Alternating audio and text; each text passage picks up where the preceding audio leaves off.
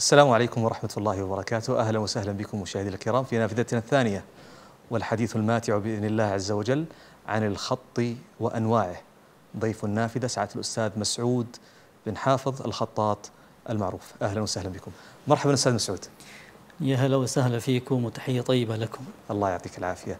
آه، أستاذ مسعود الخطاطون آه، حقيقة أصحاب آه، ريشة جميلة ومزاج يعني رائع. الحديث معكم حول الخط وأنواع ذلك الفن العظيم الذي له أبعاده وله يعني طرائقه وأنواعه. إن أذنتم أستاذ مسعود أن تحدثونا بداية عن الخط العربي لمحة تاريخية عن الخط العربي. بسم الله الرحمن الرحيم. الحمد لله رب العالمين وصلى الله وسلم وبارك على نبينا محمد وعلى آله وصحبه أجمعين وبعد. فإن الخط العربي هو الفن الإسلامي الأول الذي نال العناية والاهتمام الكبير لدى العرب والمسلمين. والخط العربي هو علم وفن واكتساب وله تاريخ وله أيضا جذور قديمة. آه، والخط العربي عرف قبل الإسلام منذ قديم العصور وتنقل بين اليمن والحيرة والأنباط ثم وصل إلى الحجاز. آه، والنبي صلى الله عليه وسلم حث الصحابة الكرام على تعلم الكتابة وإجادة الخط ويدل ذلك على موقف فداء الأسرى في غزوة بدر حيث كان النبي صلى الله عليه وسلم يطلب من الأسير المشرك أن يعلم عشرة من المسلمين القراءة والكتابة. فهذا جعل الكتابة تنتشر بشكل كبير في المدينة. ثم توالت مراحل تطور الخط العربي وانتقل من الحجاز إلى الكوفة. وهذه المدينة التي تنسب إليها الخط الكوفي. وبعد ذلك انتقل إلى انتقل بعد ذلك إلى العصر الأموي. في هذا العصر ظهر تطور الخط بشكل ملموس. وقد أصبح يزين القباب والمآذن والمساجد والقصور. وأيضا يعني واصل التطور حتى بلغ عدد الخطوط فوق الثمانين. سبحان الله. ثمانين خط هذه أنواع الخطوط العربية؟ نعم أنواع الخطوط كثيرة جدا لكن منها اندثرت ومنها موجودة. الباقي يعني عددها قليل. جميل. وصلت إلينا ثم انتقل الخط إلى العصر العباسي. طبعا في هذا العصر أصبح الخط علم وفن.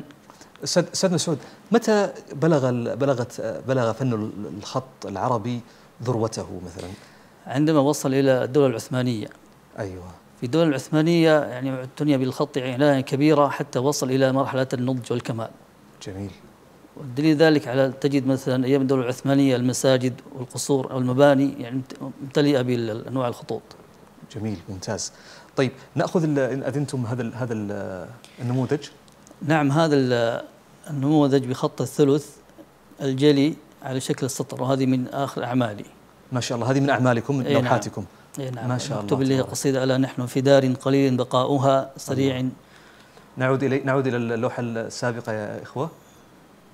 نعم سريع تدانيها وشيك فناؤها غدا تخرب الدنيا ويذهب أهلها جميعا وتطوى أرضها وسماؤها ترق من الدنيا إلى أي غاية سموت إليها فالمنايا وراؤها. الله هذا الخط الديواني. لا هذا خط الثلث. خط الثلث. نعم. لكن قلت خط الثلث ال... إحنا عندنا خط الثلث ينقسم إلى قسمين. جميل. في ثلث جلي وأيضا ثلث عادي. الثلث الجلي يكتب بقلم يعني مقاسه يكون 4 ملي فما فوق. نعم. والثلث العادي يبدأ تقريبا يعني ما أقل دون الثلاث ملي اثنين واحد ونص هكذا. جميل جميل. اذا لا زلنا في اللمحة التاريخية وذكرتم ان أن في الدولة العثمانية بلغت الخطوط آه، ذروتها ويعني اتسقت نعم. وانتظمت. جميل. طبعا قبل ذلك عندما انتقل إلى المرحلة العصر العباسي وفي هذا العصر أصبح الخط علما وفن. يعني له عنايته وملامحه الواضحة. وأيضا آه، آه، الوزير ابن مقلة رحمه الله هو الذي وضع المقاييس والقواعد في هذا العصر. وأيضا ابتكر خط الثلث هذا من أستاذنا؟ الوزير ابن مقلة.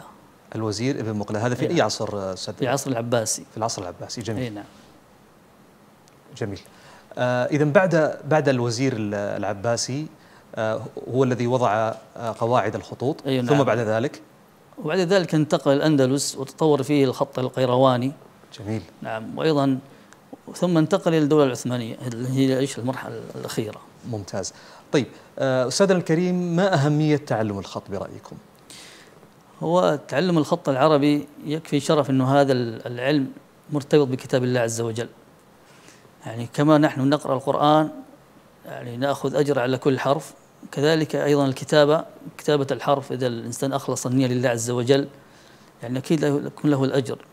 وأيضا يعني يتعلم منه كثير من الأمور منها يتعلم منه تنمية كثير من القدرات منها الدقة على الملاحظات وأيضا الانتباه وأيضا من ال- العادات مثل النظام والنظافة والترتيب والصبر. الخط هذا يعلم الصبر ما يمكن يتعلم الخط هذا الإنسان يصبر مثل أي علم. جميل.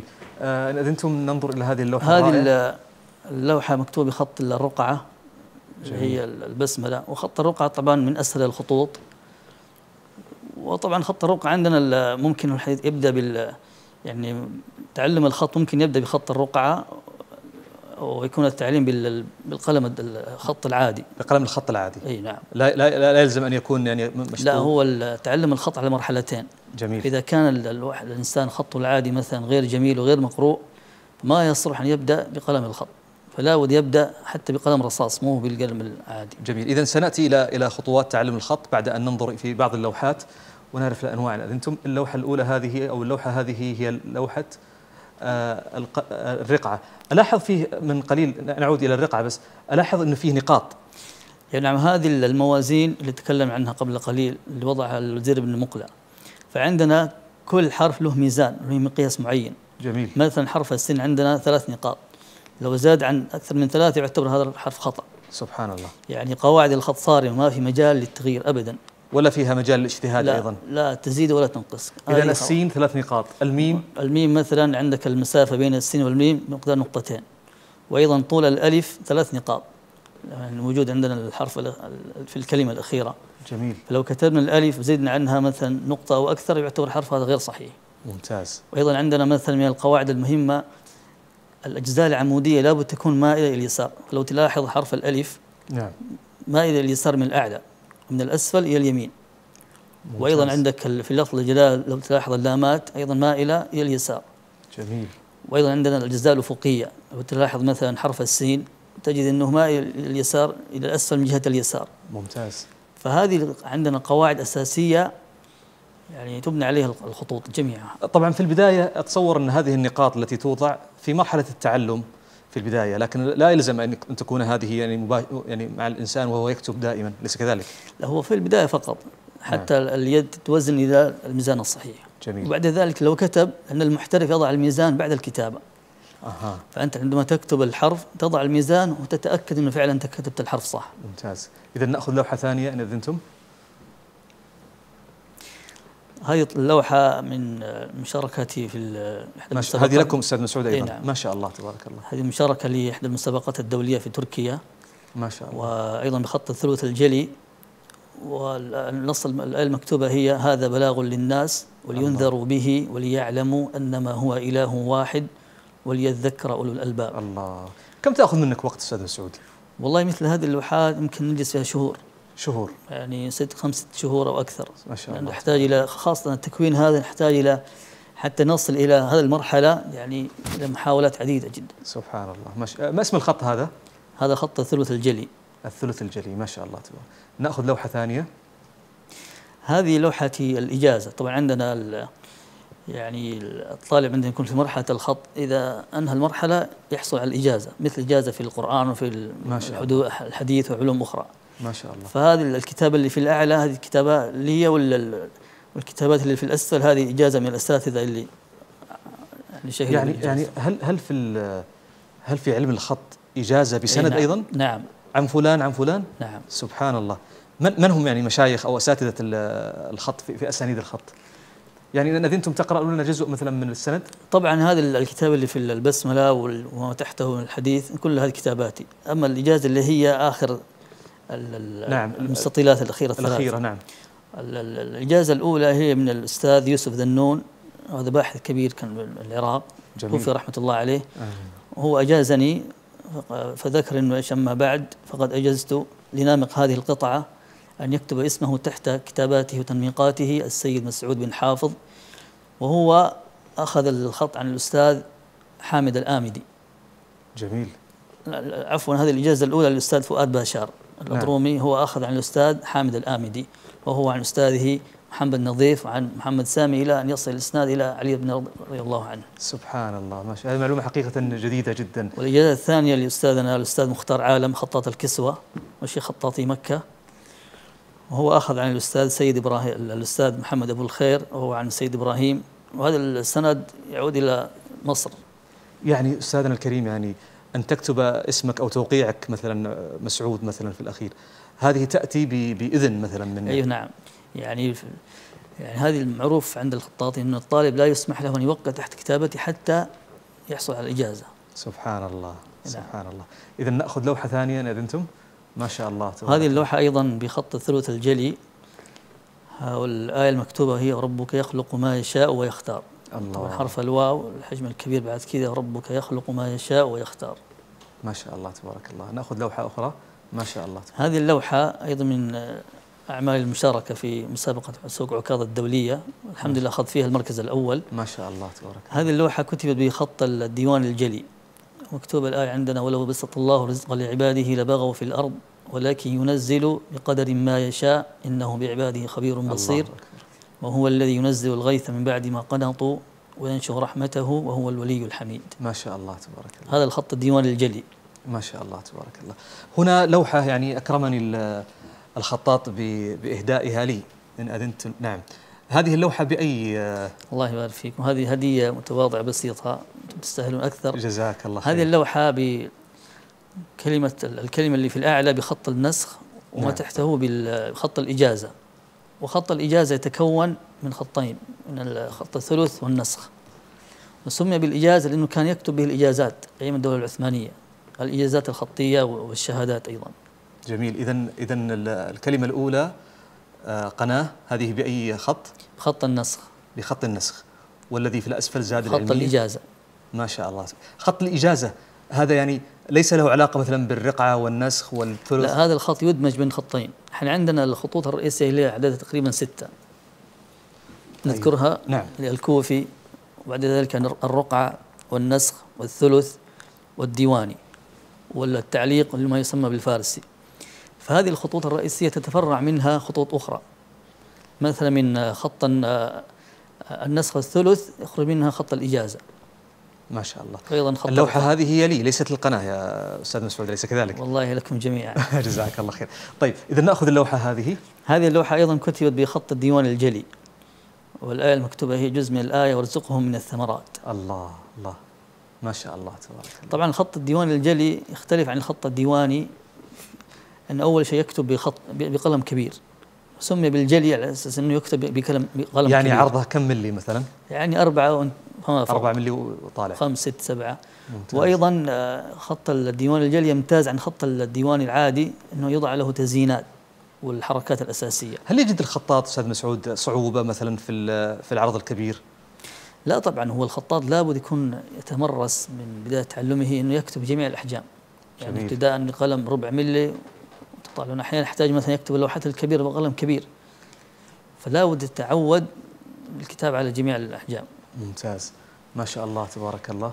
وأيضا هذه اللوحة بخط ثلث الجلي وكتبت كما ترون من شكل دائري والمكتوبة فيها الآية وقل ربي أعوذ بك من همزات الشياطين وأعوذ بك ربي أن يحضرون. في المنتصف قال الله تعالى في كتابه الكريم. ما شاء الله. آه، الزخارف ال- يعني التي بال- بالجوار مثلا الدائرة هذه هل هي أيضا من عمل الخطاط؟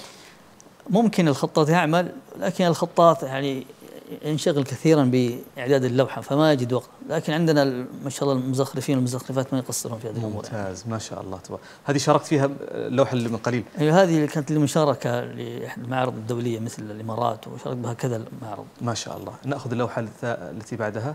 ما شاء هذه الله. اللوحة كانت تهنئة بمناسبة العيد وكنت كتب بخط السنبلي. خط السنبلي يعتبر من الخطوط ال- القديمة جدا. جميل. مكتوب فيها عيدكم مبارك. ما شاء الله. وهذه وهذه اللوحة أيضا كتبت بخط الديوان الجلي على شكل ورقة شجر مكتوب فيها هذا من فضل ربي. الله أكبر. ما شاء الله تبارك الله. ما شاء الله. وهذه اللوحة كتبت بخط الديواني الأسلوب ال- التركي. عندنا أيضا مدارس في الخط المدرسة العثمانية والمدرسة المصرية والعراقية. فالعبارة المكتوبة هي إذا نلت منك الود فالكل هين وكل الذي فوق التراب تراب. الله نلاحظ أن خط الديواني يعني لا يوجد فيه أي تشكيل. جميل. عكس الخط الديواني الجلي شاهدنا قبل قليل نعم. يعني فيها تزيينات وفيها حركات وكذا. ممتاز. آه نأخذ لوحة. ما شاء الله تبارك وهذه صفحة من المصحف ما شاء الله. الذي بخطكم أستاذ أي نعم. مسعود. ما نعم. شاء الله تبارك حاليا شرعت في كتابة المصحف ووصلت تقريبا إلى عشر أجزاء. نسأل الله عز وجل أن يتمم علي. ما شاء الله تبارك وهذه صفحة منها. ما شاء الله. طبعا. آه، خط النسخ وأيضا أنا وضعت بعض الألوان لل- للأحكام التجويدية الغنة والمد والقلقلة. ما شاء الله. آه كم وصلتم الآن؟ 10 أجزاء. أي نعم. ما شاء الله تبارك الله. كم استغرق وقت منكم العشر أجزاء؟